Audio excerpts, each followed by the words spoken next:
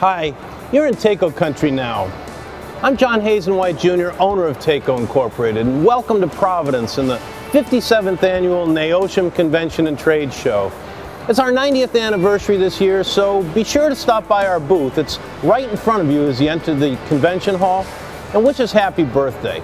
I'll be there along with John Barba and the FloPro team guys to show you around some of the great products, software, and training that we're offering.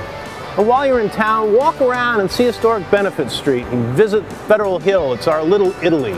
Both are easy walks in the downtown area.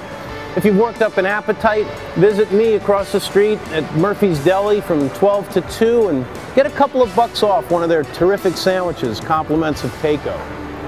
Thanks from all of us at Taco. We hope to see you soon.